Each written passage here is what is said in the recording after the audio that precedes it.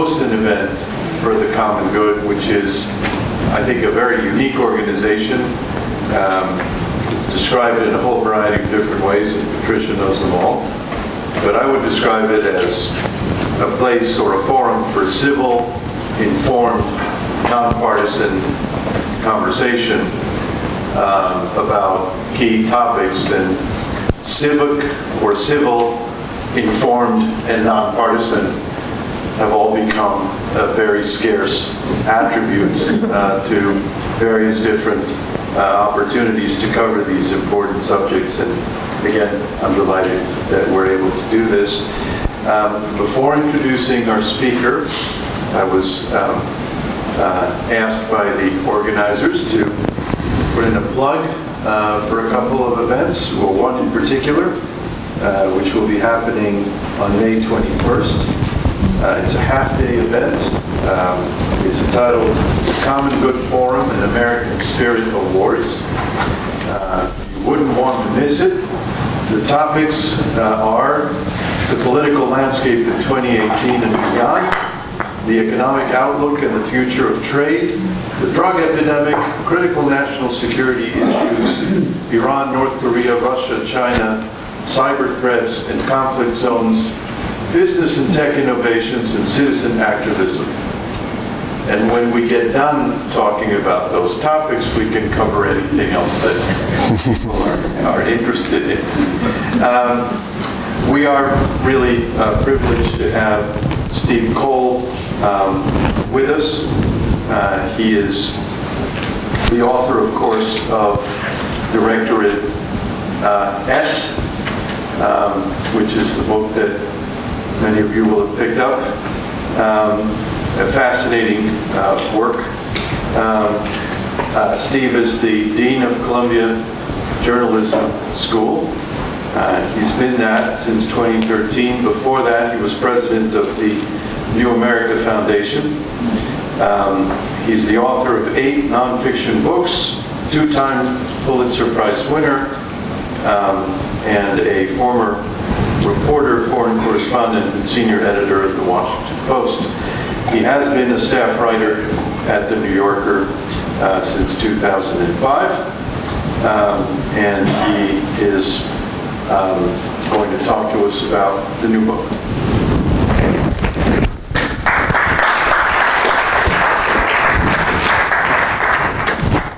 Thank you so much. Thank you, Ruben. Uh, thank you, Patricia, for making this possible. Um, Richard and uh, Tom, a great friend of Afghanistan, friends of mine, Harry, Ken. Really delighted to see Bernard after a long time. He was somebody I worked with very closely at New America and haven't seen in too long.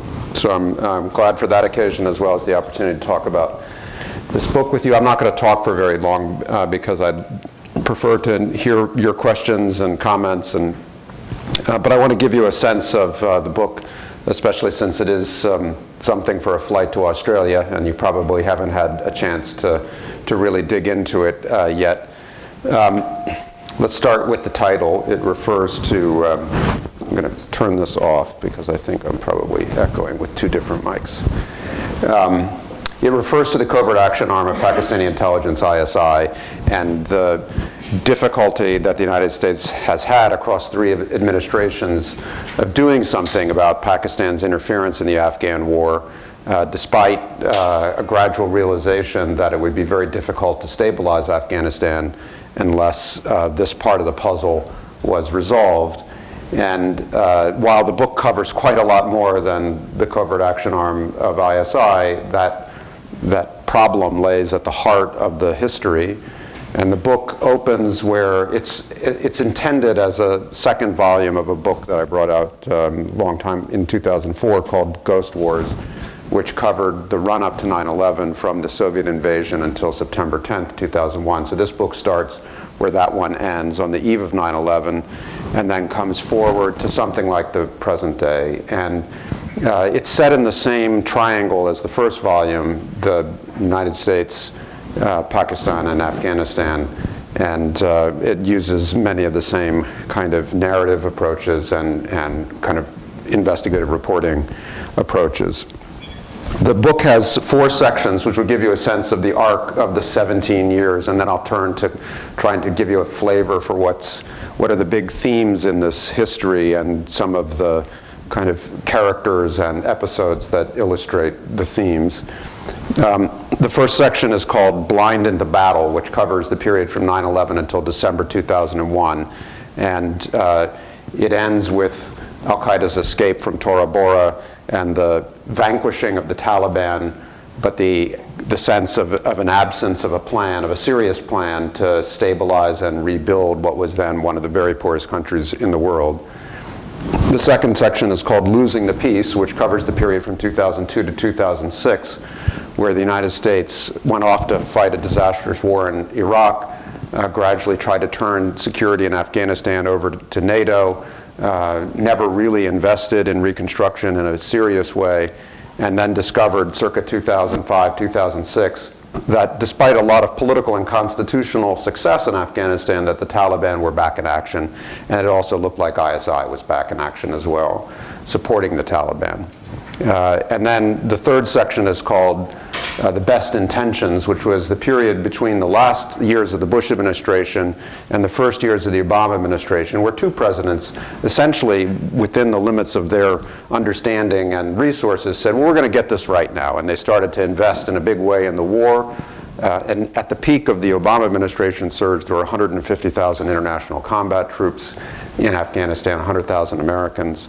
And then the last section is called The End of Illusion, where the United States and its allies come to terms with the fact that the war is turning into a grinding stalemate, that the problem of Pakistan looks insolvable, and that their own appetite for sacrifice, uh, both militarily and economically, is uh, diminishing, as is the attitudes, uh, uh the resilience of the publics in uh, Europe and, and even in the United States. So that's the central arc of the history it's a, it's a story in which um, it tries to unpack uh, and excavate the decisions and the, and the critical moments that caused the United States and its allies to struggle so badly with the goals they had set out to achieve in Afghanistan, to the extent they could even define what those goals were. And uh, it tries to address through narrative and investigative reporting the, the answer to the question of, of why we're still there, why it has been such a struggle, why the war has ended up in this stalemate.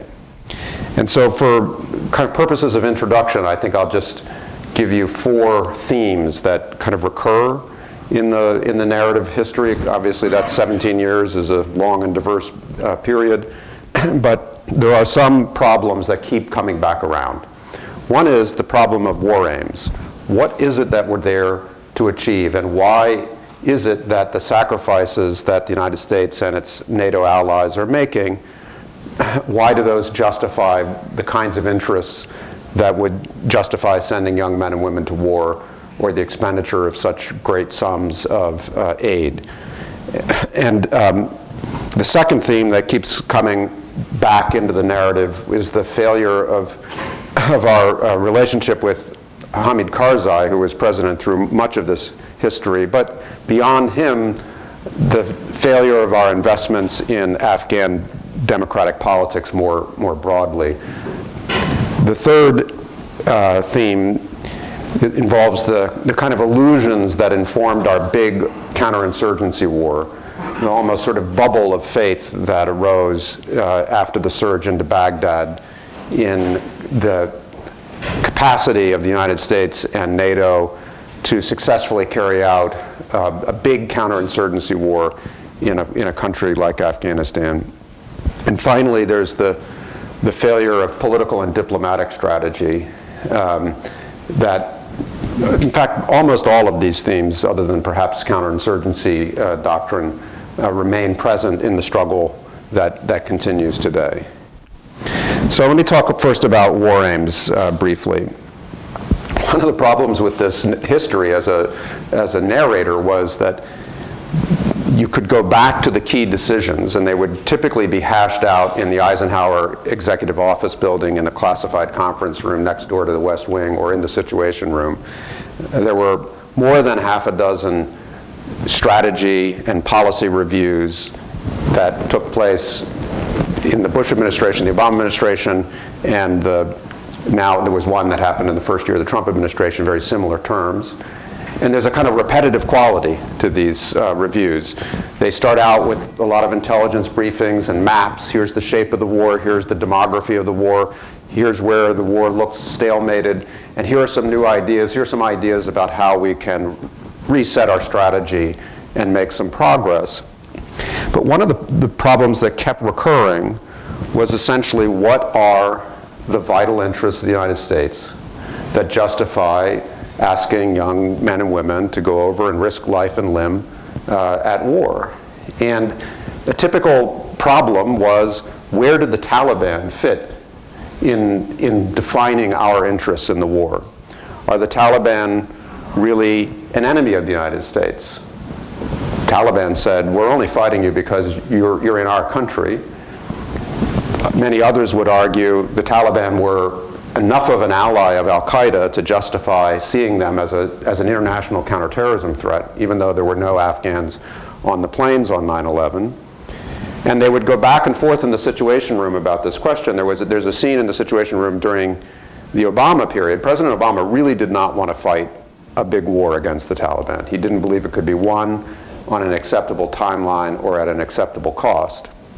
But the military felt that it was necessary and they kept bringing their case into these policy debates. And there's a scene where uh, the White House side of the table says, you know, I don't think we've ever really promised that we would defeat the Taliban. Uh, and, and, Bob Gates is in the room, the holdover defense secretary. He said, yes, well, they're part of Afghanistan. They really can't be defeated on the battlefield. And the Joint Chiefs type uh, the Joint Chiefs representatives at the table go away. They come back the next day with a huge PowerPoint deck with all the, the statements that American political leaders, including presidents, have made again and again about their intention to defeat the Taliban. And they basically argue, well, um, you may not want to be committed to this war, but in fact, you have said that, you're, uh, that you intend to win it.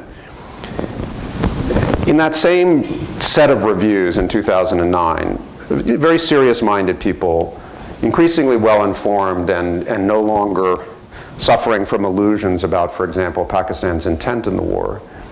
Um, they keep coming back in a hard-headed way to what are America's vital interests in the war, truly vital interests. And they eventually land on two. One is al-Qaeda, which is still present along the Afghan-Pakistan border, still carrying out international attacks, even sponsoring attacks in New York City, it must be uh, suppressed. And that is a vital interest of ours. And the second is that we don't want Pakistan to fall apart and to have its nuclear weapons fall into the wrong hands, of which there are many wrong hands in Pakistan. But think about it. In 2009, neither of those two vital interests was in Afghanistan. Al Qaeda had already left Afghanistan for, for Pakistan and was on the Pakistan side of the border. And of course, Pakistan's nuclear weapons are in Pakistan. Well, President Obama and his advisors were smart enough to see this gap in logic. So why are we surging 150,000 combat troops next door to the country that contains our vital interests? And the argument that they eventually, the rationale they eventually came around to was, well, if we don't, Afghanistan will fall apart and al-Qaeda will come back. But it's quite an indirect and even convoluted reason to ask uh, American or European soldiers to go to war. So Hamid Karzai. One of the things about that I really enjoyed about this book was I had been kind of a beat, beat reporter in the war after, in a magazine sense, um, after 2005. I'd been a beat reporter as a newspaper correspondent in an earlier era, and I went back for the New Yorker regularly. And I had covered Hamid Karzai for a long time. I had interviewed him, seen him at press conferences, and felt like I understood him. And I was, of course, struck by the narrative that, as one of his advisors put it uh, to him while they were walking in a Palace Garden in 2009 or 2010, he said, you know, you used to be, in the American narrative, you used to be the Afghan Mandela, and now you're the Afghan Mugabe. and it's, uh, it's a little unfair. Um, we appreciate that. But he was becoming erratic and untethered, and um, the book describes in quite a lot of detail uh, his speech and conduct in private that was the basis for this reputation that he was acquiring. But there's, there's something that, that um, I could see after trying to document meeting after meeting, encounter after encounter with the United States that wasn't so obvious to me when I was sort of a beat reporter, which was that in one important respect, uh, Karzai was very consistent, and so was his cabinet, in his relationship with the United States. And it was the inability of the United States to hear what he was saying consistently and respond to it that contributed to his deepening frustration and even his paranoia about the United States. And that is to say, when you go back and look at the private meetings he held with American presidents, American secretaries of state, visiting intelligence officers, once even when candidate Obama arrived in the summer of 2008, the whole cabinet uh, which was factional and full of rivalries. They all had a pre-meeting and they said, look, this guy could become president. Let's make sure we have just one message for him.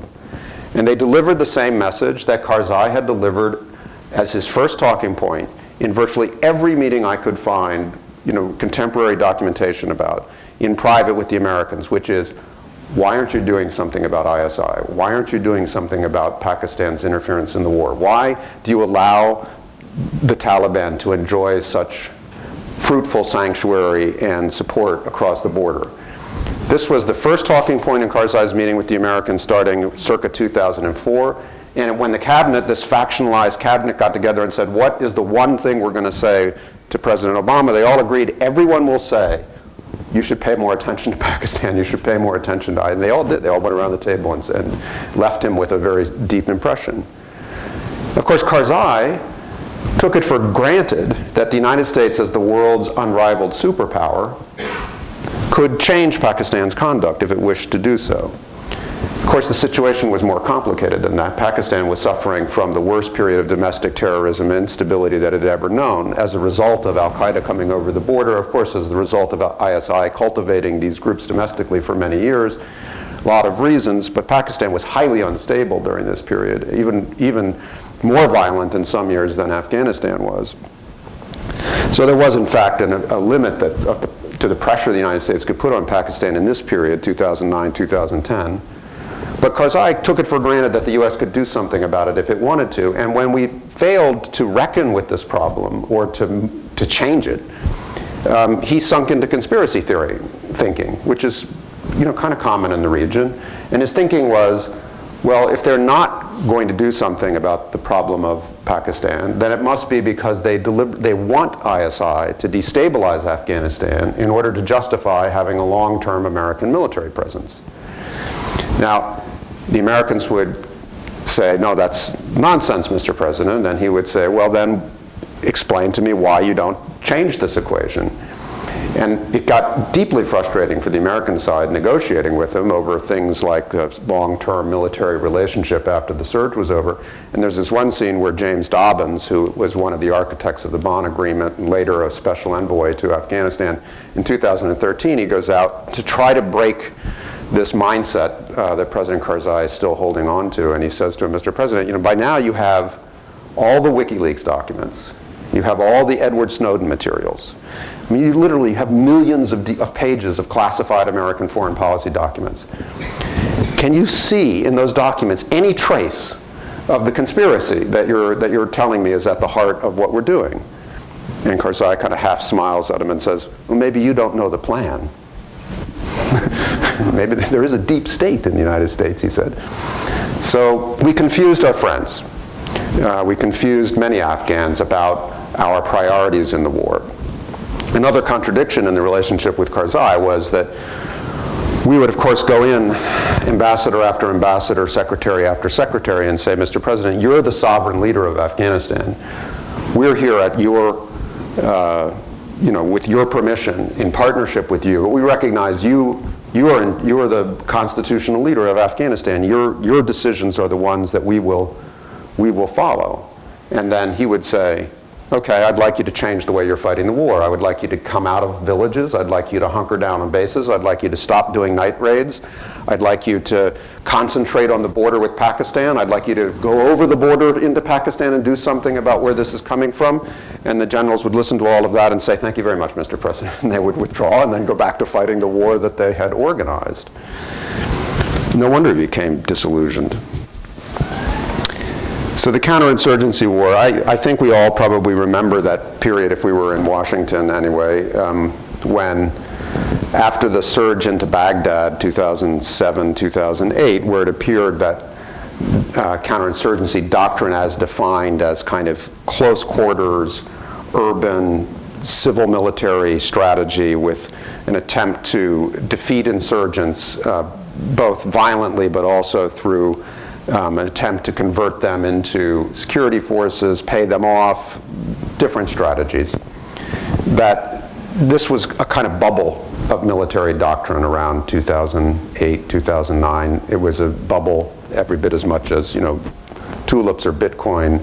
Everyone was walking around Washington with copies of old French counterinsurgency manuals. And there was a belief that um, this, these insights that had been developed in Iraq could be applied in, Af in Afghanistan. Um, and of course, you know, it didn't, it didn't, turn, it didn't turn out that way.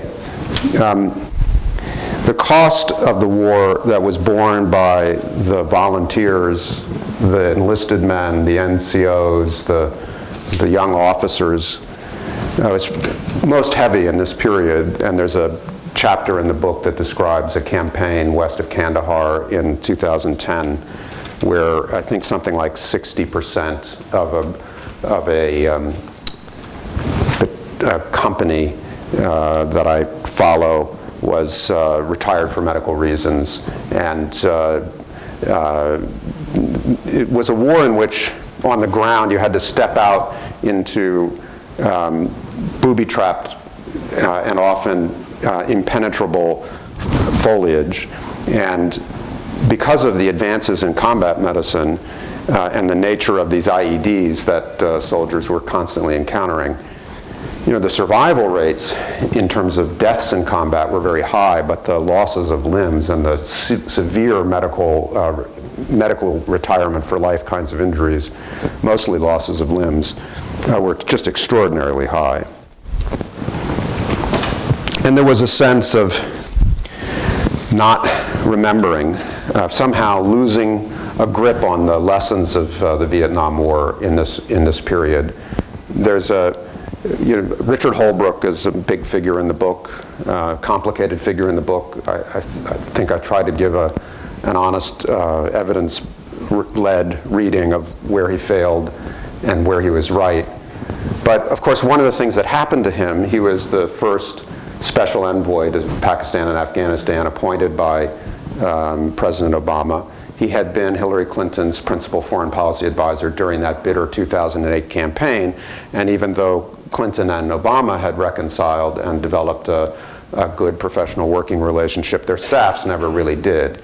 And uh, in addition, Holbrooke suffered from his being a kind of large personality and Obama uh, not appreciating his, his kind of gestures, his self-references, his way of uh, framing things.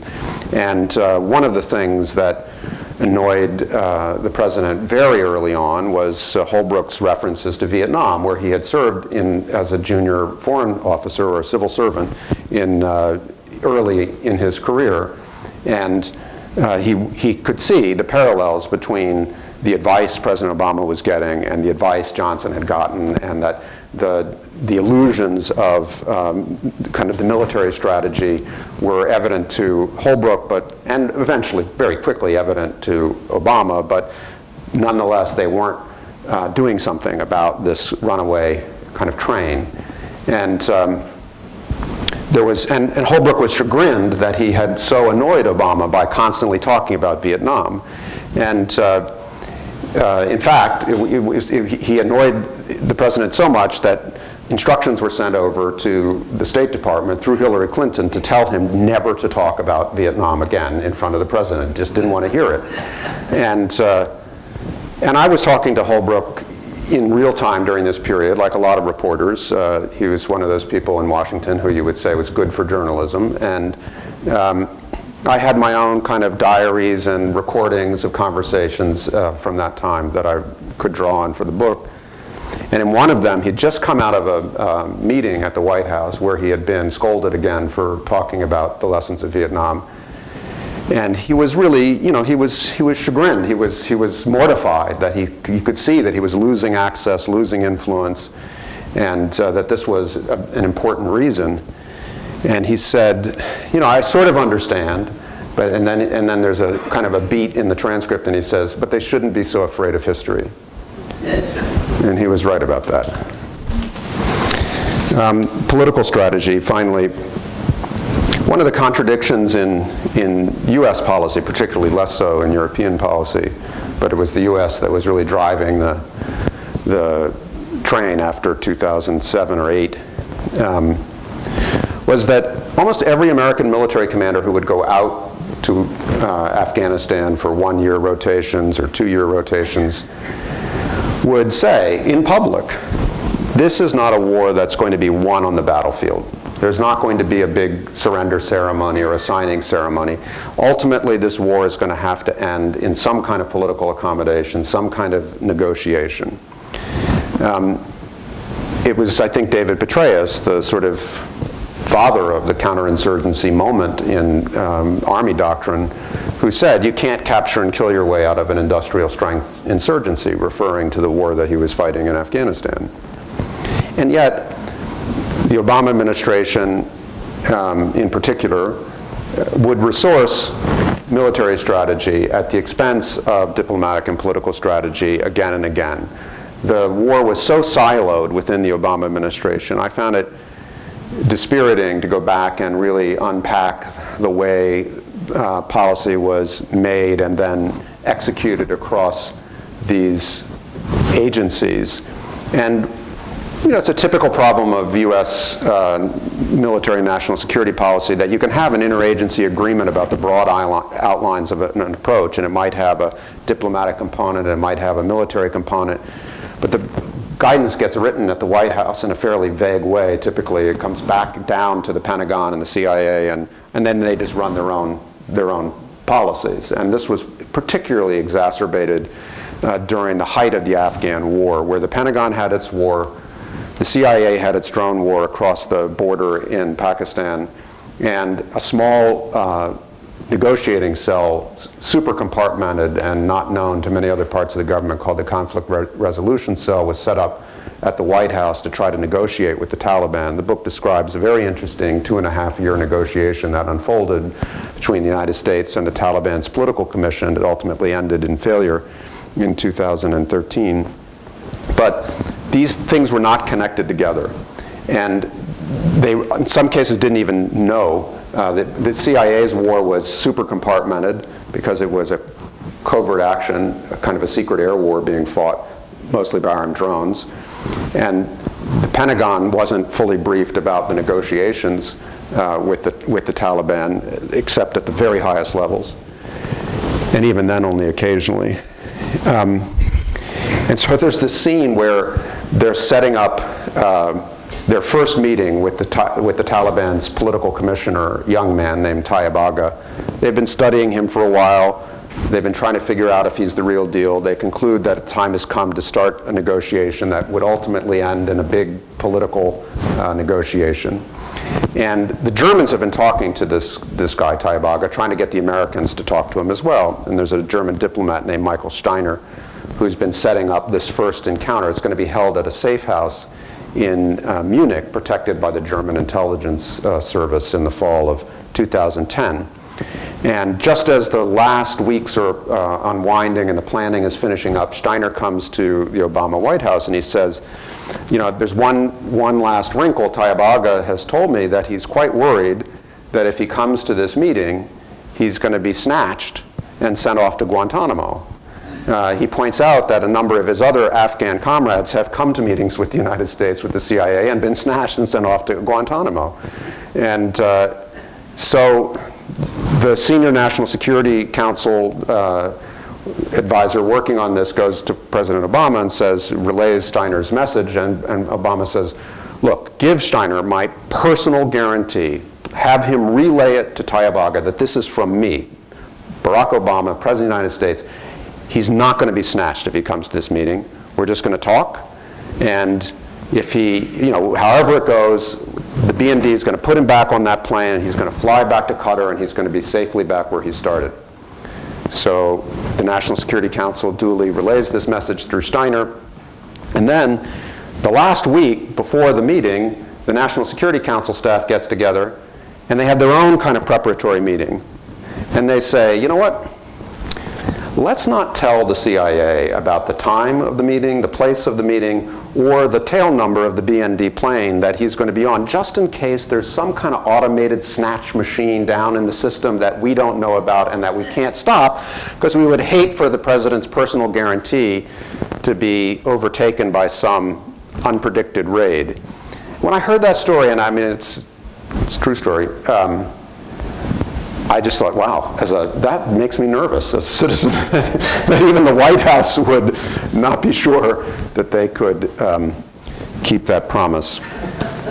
Anyway, um, I'll stop. I, I want uh, you know to to say that this has been uh, going on for 17 years. The Trump administration carried out a policy review in its first year in office that had many of the same dimensions and, and uh, intelligence briefings as the reviews through in, back into the second term of the Bush administration. One of the intelligence products that's often briefed at these uh, Afghan strategy reviews is a CIA map. Uh, it's called the District Assessments. And it's, uh, it's an analytical product that was built by a, a, little military analysis team inside the CIA. And it was derived from something that they had been attempted during the Vietnam War called the Hamlet Evaluation System, which was an attempt to show like, who, who controlled what during the Vietnam War. And so the, the map shows the approximately 400 administrative districts in Afghanistan and it gives each a different color depending on whether it's government controlled, Taliban controlled, contested, or locally controlled by someone else. And these were first created uh, in 2007. They've been updated every six months. And essentially the map hasn't changed across all this time. Um, you know, the colors have shifted a little bit here and there, but the, but the basic stalemate has remained the same, despite a surge of 150,000 international combat troops, the withdrawal of those troops, the, the surge of Afghan forces taking the lead, now taking very heavily casualties. Why is this stalemate embedded from a military perspective? Partly it's because the Taliban have no air force, no answer to the US Air Force, which may be eventually become the Afghan Air Force, so they can't mass without getting bombed to smithereens. It's very difficult for them to take cities that the U.S. Air Force wants them to stop, prevent uh, from them from taking, or to hold them. But on the other hand, uh, neither the U.S. nor the Afghan forces have been able to take back, you know, and sustain uh, the uh, control of the large portions of the countryside that the Taliban own. So that's that's kind of a structural stalemate as as well as a, um, a kind of political one. So I'm, I'm, afraid that, you know, in 2021, for a bunch of reasons, when if President Trump is re-inaugurated or the next president of the United States is, is uh, inaugurated, we will still be at this war. So thank you for listening.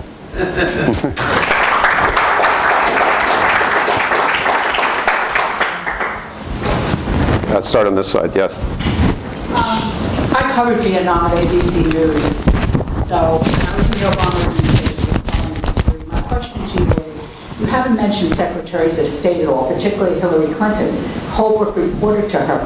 Can you, is your book, you know, reviewing the secretaries of state, or is it primarily the military, CIA, Department of Defense? Um, because other than Holbrooke, you haven't mentioned any diplomacy. There's a lot of the State Department in it. I mean, Holbrooke's office was the was the main diplomatic um, effort for the two years that he was alive until he died in 2010. Then that, the office that he had set up became diminished. And his relationship with the secretary and the secretary's relationship with the interagency debates is an element um, uh, you know, important part of the story. Um, I think the secretary was reluctant um, to um, take positions in the interagency that could come back to haunt her if she ran for president. And uh, I, I think that kind of shows up in some of the intersections where she and Holbrooke are trying to figure out how to manage their position. She did emphasize, um, you know, civilian and diplomatic issues at, with a lot of vigor, and she argued for the State Department's role in Afghanistan very vigorously. But on the core, you know, question of the dominance of the military strategy during those years, um, there was no dissent about counterinsurgency doctrine. I used to, I, when I was reporting, I went around the whole U.S. intelligence bureaucracy looking for that handful of like INR analysts or somebody who has, in, like in the weapons of mass destruction story, like there was somebody in the system who said this is wrong. And I remember sitting down with some, some INR analysts late in my reporting and saying, you're my last stop. Did you write a dissent memo about the counterinsurgency surge? And they said, gosh, we really, we sit around and talk about this all the time. We really wish we had, but we didn't. we got rolled over too. So um, anyway, uh, yes. Uh, thank you so much for speaking today. Um, my question is actually about uh, Pakistan. Um, I was um, lucky enough to work briefly on the Hill, working with a lot of Afghanistan-Pakistan issues, SIGAR and other things. And um, I guess something I noticed while I was working there is there seem, I'm wondering, generally speaking, how we could potentially influence Pakistan or maybe get them to be more amenable or open to actually assisting us. Because from what I saw firsthand is um, when we get people like Zardari and Gilani come, they were almost ignored. And then you have Pasha, Kayani, people from ISI, and the general himself, and it seemed like they had so much more influence. Do we emphasize the politicians more than the military? The politicians are, there's a bit of corruption there. You look at Nawaz Sharif now, that's not much more promising. Do we try to help them develop a greater civil society because they're lacking there? Do we steer them away from China? I just have a lot of ideas, I'm wondering what the most conducive to actual change. Go back to Reagan, I mean, Yeah. not much has happened to Bill Hawkins, so. Yeah.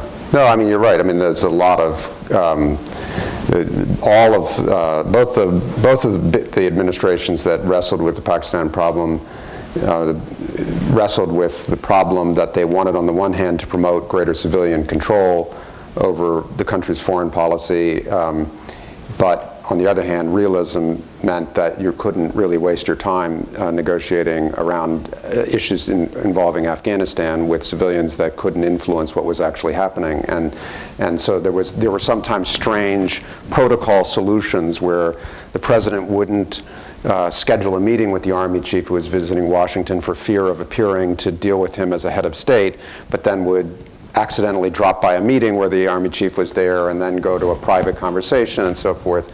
I mean, it was uh, a, a, repeated entanglement.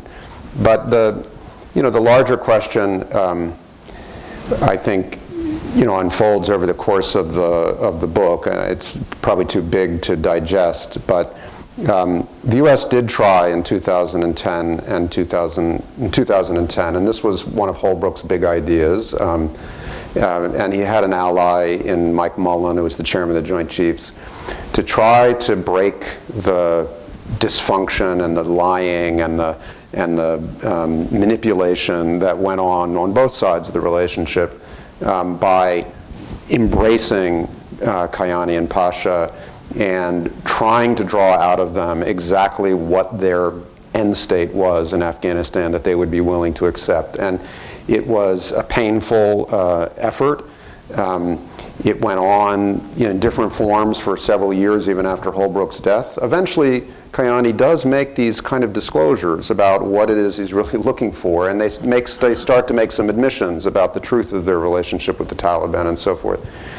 But um, it was a combination of the U.S. not having the capacity to negotiate in a sophisticated way around uh, this mess, and um, also external events bin Laden, uh, Shakala, uh, Raymond Davis. I mean, there were so many shocks to the relationship that involved politics in both countries that some kind of uh, deeper effort to tell the truth and see if there were enough, there was enough common ground to stabilize Afghanistan um, was never materialized.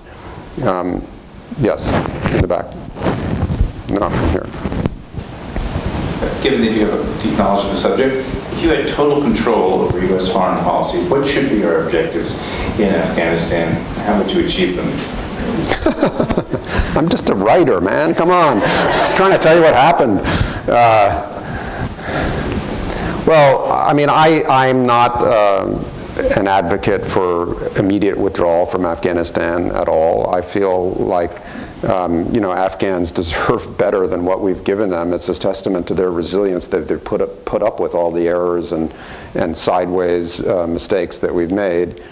Um, I do think that uh, the one um, road to reduced violence in Afghanistan that if you look at compar comparable politics and you know just global history over the last 30 or 40 years, 30 or 40 years, the one road that has really not been attempted in a serious, sophisticated, all-hands way is a political track to try to figure out what's possible. And that doesn't mean a peace settlement with the Taliban necessarily. It just means an attempt to reduce the violence, keep civilians out of the war, stabilize the economy to the extent possible, stabilize uh, the kind of social landscape to the, to the extent possible. I've been reading, I read a couple of histories of the Lebanese Civil War recently. It was very interesting. I, was, I, I didn't appreciate that two parties in that war during the 70s, 80s, and 90s um, that would never in our lifetimes conceivably reconcile with one another, that is to say, Hezbollah and the State of Israel, nonetheless negotiated at a critical phase of the war, the so-called Rules of the Road Agreement, where they essentially agreed to keep their civilians out of the war, each, each other's civilians out of the war. And so, and they really kept to it. I mean, occasionally someone would break the bargain and they, they, everyone would flip out and say, uh oh, we're going to go back to total war again. And they would, no, no, we're going to just, and a whole generation of Israelis in northern Israel grew up uh, under the guns of Hezbollah's artillery uh, capacity, but never uh, disrupted by it. And, and a whole generation of Shia in southern Lebanon grew up similarly. And, you know, they went to school, they got married. Eventually, political settlements and political change evolved out of those reductions of violence. Um, but there are, there are forms of stabilization that precede political settlements that haven't even really been attempted in a serious and smart way in Afghanistan. And when, if you get to know the generation of Afghans that has come of age, especially in the cities, since 2001, you know, people Tom Freston knows very well, you know, they're a very inspiring generation. It is literally true that there has never been a generation of Afghans like the one that's now kind of under 30, under 35, in Kabul, in other cities, that grew up in, you know, connected to the world, uh, with access to um, global identity as well as Afghan identity. And they're nationalistic too. I mean, the one thing Pakistan has achieved in Afghanistan, it's not achieved its goals, um, but it has achieved the, the intensifying of Afghan nationalism uh, against Pakistan. And and even with all of the factionalism and, the, and, and uh, kind of ethnic um, uh, sort of mobilization that you can see in Afghan politics, nonetheless, there is still a there there, and, and, um, and there's, there's good reason to have uh, faith that it, that it could be the basis for reductions in violence and, and, and forms of stabilization. So anyway, that's my best, uh, best answer, yes. Could we have, um,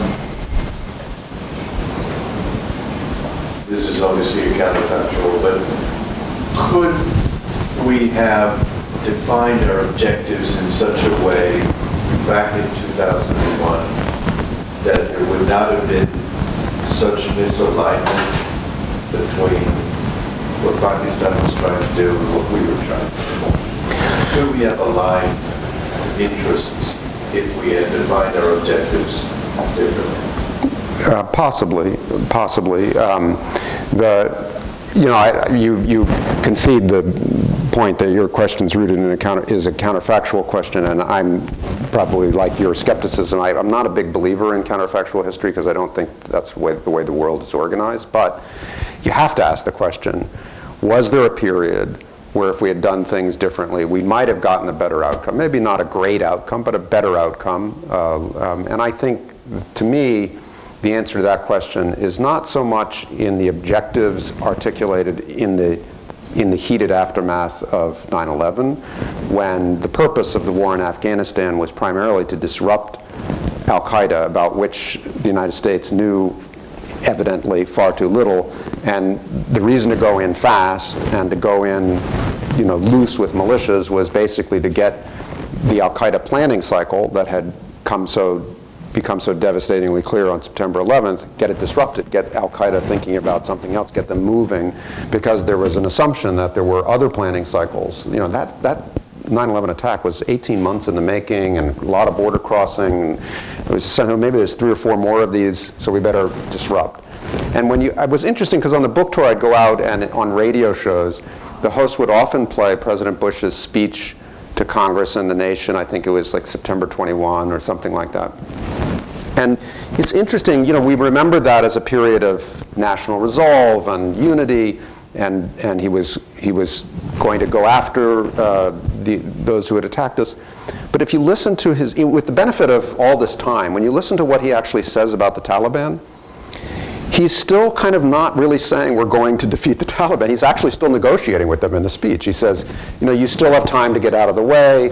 Uh, we know you're not the people who attacked us, but you're harboring the people who attacked us, so if, unless you do something about it, we're going to. But it's already the ambiguity of whether the Taliban are in or out of the war is right there in the first speech. Um, so, anyway, long way of saying, I think the opportunity was 2002 to 2005. That, that is where we failed. If we had an opportunity to do better, there's so many things that we didn't do. Uh, we didn't build Afghan security forces in a serious way to take over the, uh, the stability of the country. Um, you, you, look at the history of that training effort in those early years, and it's really pathetic. Um, the amount of money we invested in reconstruction was also pathetic, and the people involved in it knew it. Part of the reason was ideological. The Bush administration and Secretary Rumsfeld in particular had a conviction that we shouldn't be building, um, rebuilding, nation building. Part of it, though, was Iraq. Uh, there's a scene in the summer of 2002 where Stanley McChrystal comes into Afghanistan to kind of staff up this task force that's mostly counterterrorism, but it's also connected to the embassy and U.S. policy and they get called off to a meeting in Brussels. They come back in June of 2002. They all say to each other, oh, we're going to war in Iraq. Don't build anything here. Um, and the distractions, the drain on resources, and then, of course, the quagmire that the Iraq war became drew the U.S. off. And I think, finally, it had something to do with something that I think, if you're really granular about this history, is still sort of a mystery, which is why did the ISI decide? Why did General Musharraf and his corps commanders, using the ISI as an instrument, decide circa 2005 to facilitate the Taliban's return? Um, now, if you ask Afghans who were watching Pakistan during that time why they think Musharraf essentially flipped, without telling President Bush, his best friend, of course. He was at the same time going to Davos and going on the Jon Stewart show for his book and so forth. But clearly something happened there. Now, you know, there's a good Afghan analysis, which is, well, it was really about our success in building a, a, new constitutional order between 2002 and 2005. So we had the Bonn Agreement. We had, we successfully uh, wrote a constitution. We successfully had a presidential election. We had parliamentary elections. They saw the Afghan state consolidating. They saw India's support. They saw the international community's support for an Afghan state that was consolidating in their neighborhood, and they didn't feel like they had enough purchase on it, so they decided to go back and just basically take it away from us. Okay, that's a valid, um, that's one valid element. I think it was part of the answer. But if you ask Pakistanis why this happened, I mean, in the army, people who were in the discussions, they'll say two other things. They'll, they, they won't sort of say, well, we wanted to take over Afghanistan. They'll, they'll both cite two other things. First one was, because of Iraq and the demand that it placed on our military forces as the war went bad after the fall of 2003, we decided, in order to um, have a kind of all-in posture in Iraq, to turn security in Afghanistan over to NATO allies. And we sold the Canadians on a peacekeeping mission in Kandahar. We sold the Brits on Helmand. We sold the Dutch on Uruzgan. And everyone thought that this was going to be a light peacekeeping operation. And the Pakistanis saw this happening and they said, oh, we're already in the post-American war. We've, been, we've seen this movie before. You left last time you came in, uh, very abruptly. You're leaving again. You're, you're, you're out of here. So we've got to get back to managing our own interests, and that's through the Taliban. Finally, there was one other element, which was in this same period, we did this big strategic nuclear deal with India. Right? So why does, Af why does Pakistan care about Afghanistan at all? It's because they don't, they see Indian influence around every boulder and they want to manage that um, backyard of their own um, so that India uh, can't undermine them. And we did this big nuclear deal with India in which we essentially forgave India for breaking out of the nuclear nonproliferation regime, promised them you know, pretty much unlimited civilian nuclear aid, and we told Pakistan at the same time, our major non-NATO ally, our partner in the global war on terrorism, our partner in the Afghan war, we told them, by the way, you're not getting this deal because you're not reliable enough. Because in fact you have a record of massive nuclear smuggling through AQ Khan. And the Pakistani kind of high command essentially took all this in and they said to themselves, you know, um, you've made yourselves clear. India is your strategic partner for the 21st century. Makes sense to us. You've got China and other things. We, you know, we understand, but you've made yourselves clear. That's the choice you've made. So we're just a transaction. And why should we then not managed our interests in our own neighborhood the way we always have. And, and that, I think all three of those things happened in that period. And before we knew it, we were in um, an insurgency that was so fully resourced and protected by the Pakistan sanctuary toward the end of 2006 that you know there's a chapter of a title that quotes a Canadian general who they find themselves in this huge counterinsurgency fight that they never expected, wasn't politically sustainable at home, and he said this war is now like digging a hole in the ocean. That was true in 2006, and it, and it hasn't changed much since then. Richard. Steve, what would you say is the American interest in Afghanistan?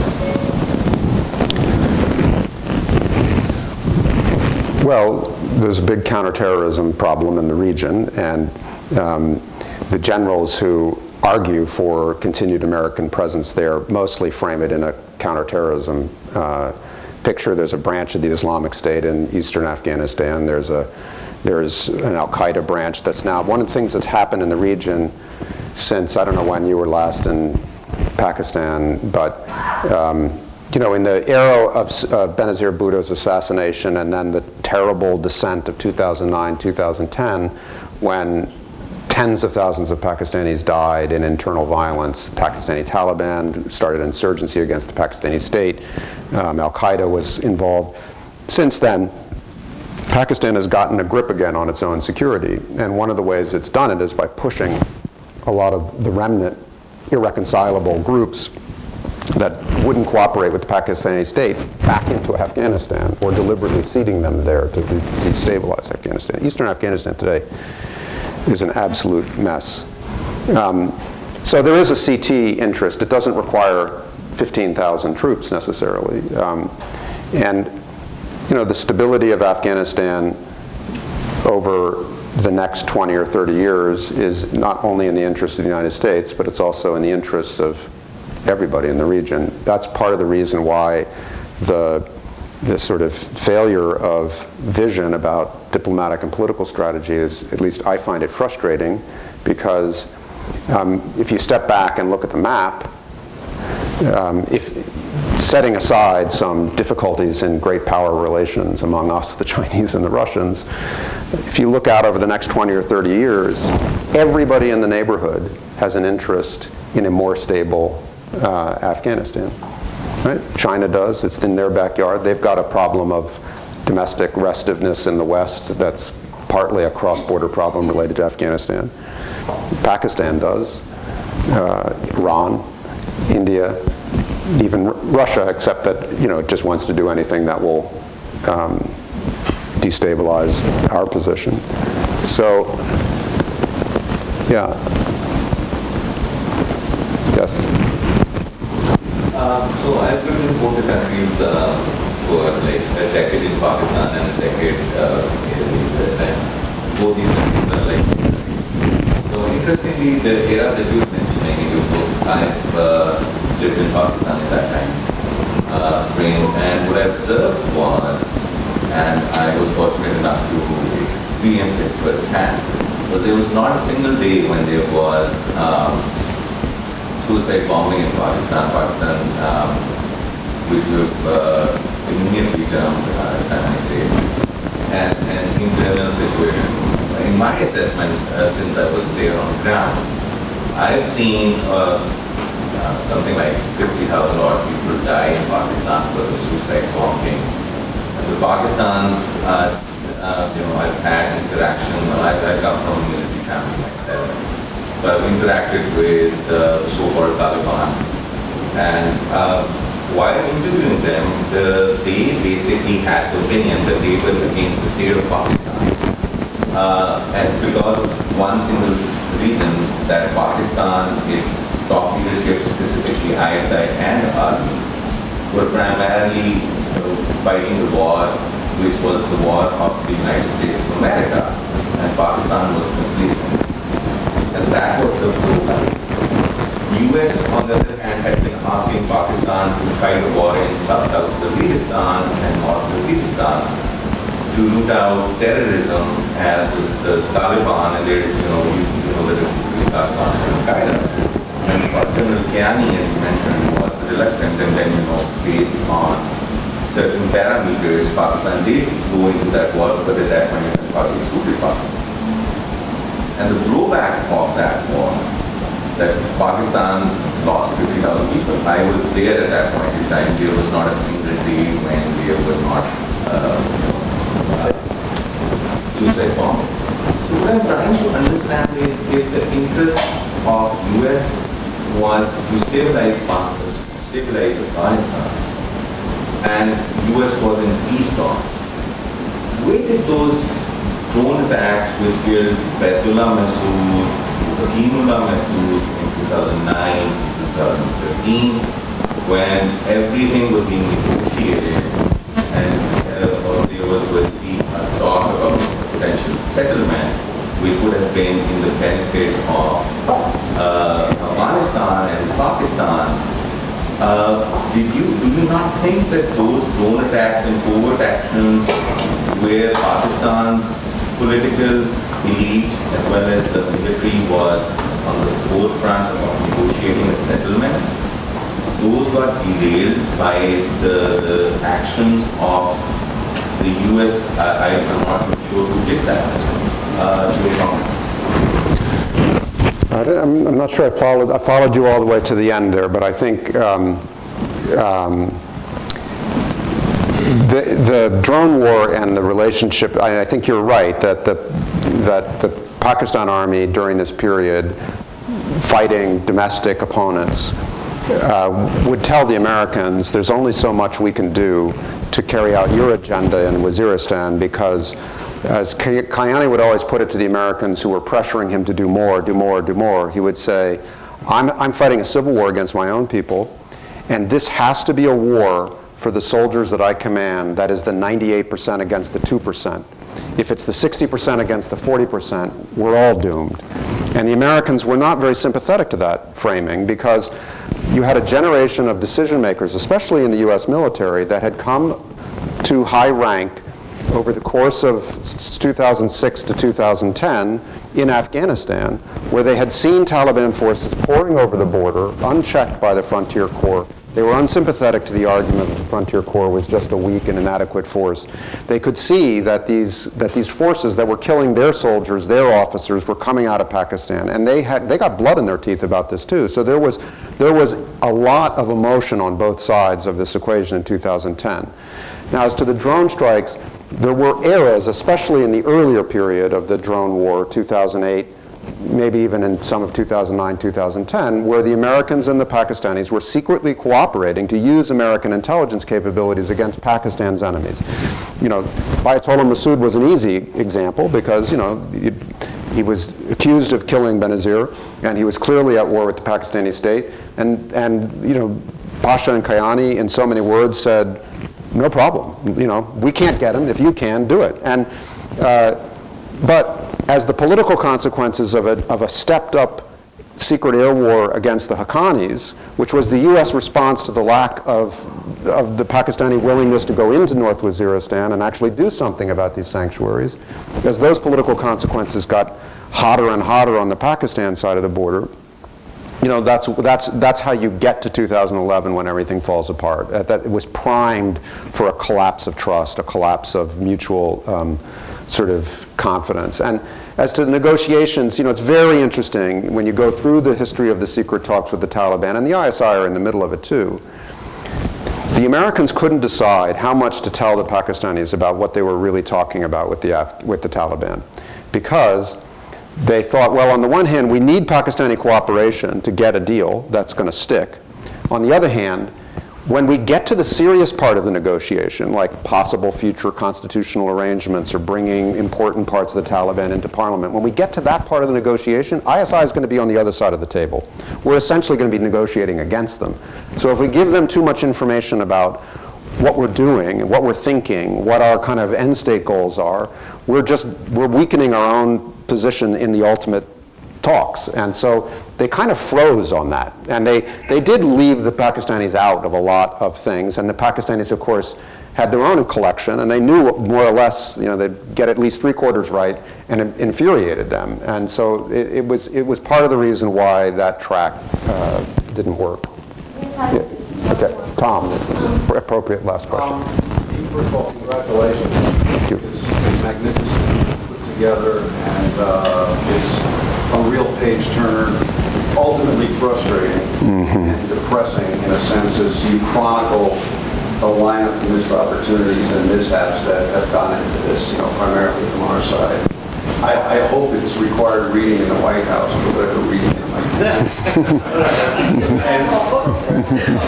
I'm reminded that next week will be the 40th anniversary of really the beginning of all of this, chronicled in your, in your first book, with the revolution in Afghanistan and set up these series of wars. So I fear you might have a third volume in the making of the stalemate.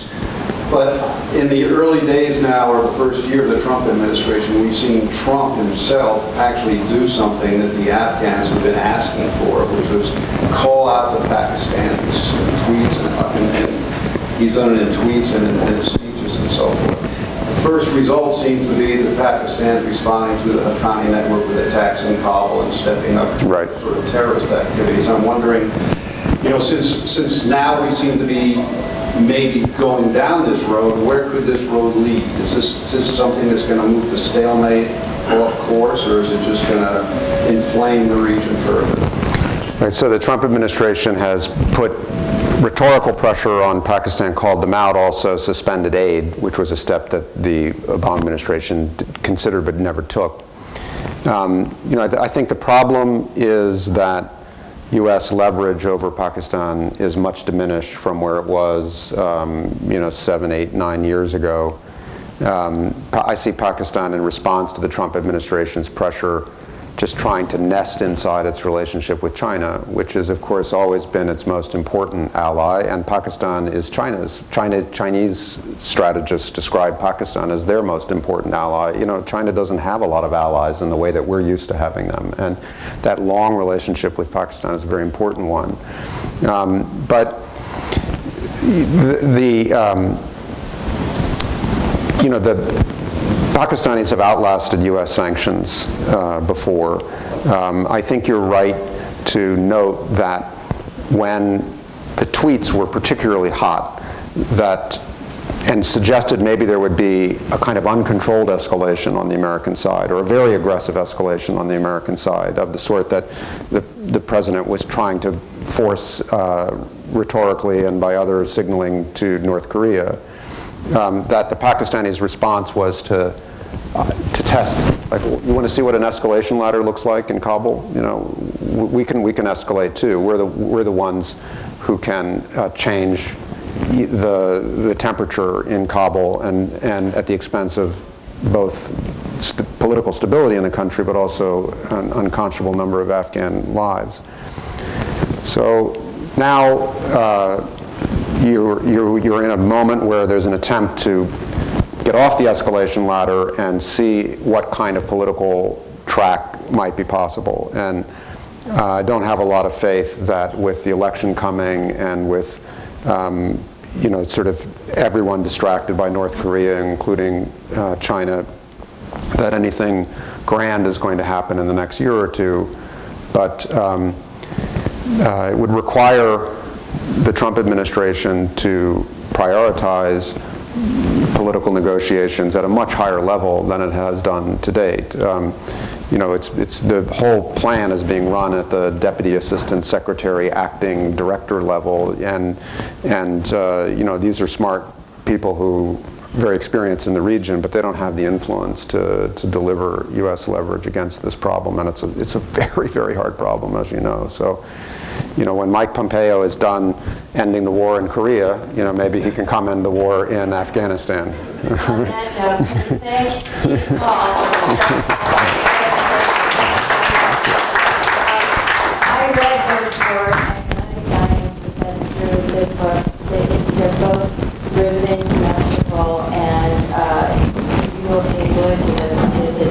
his narrative. It's it's really an astonishing book. Um, But I also want to honor our Fourth Estate friends here today, because they're here to honor you, Steve. Um, Ken Auletta, Richard Cohen, Lloyd Grove, and the dean over here, um, Sir Harry Evans. Um, Thank you for coming. Thank you for- to our change leaders like Bernard Schwartz, Naomi Wolf, um, Warren Hoge, I guess you're a reformed uh, Fourth Estater. Um, But thank you all for being here. And Ruben, this was so incredible of you to do this for us. Thank you so much for your help. Not an easy subject. No, One we had these discussions around the table. I just want to you, we've got incredible speakers and events coming up from uh, Dambisa Moyo, who's a brilliant economist, um, Stephen Bullock, who they're saying is the next Bill Clinton from uh, the governor of Montana. We'll see. Um, Said a good thing. uh, We have Mayor Bloomberg, Fareed Zakaria, um, the act- student activist David Hogg, um, General Hayden, um, and Admiral James Winnefeld. We just have, we're just knocking it out of the park just in the next few weeks, and I hope we will see you very soon and We're uh, very often. Thank you so much for being here You're- tonight.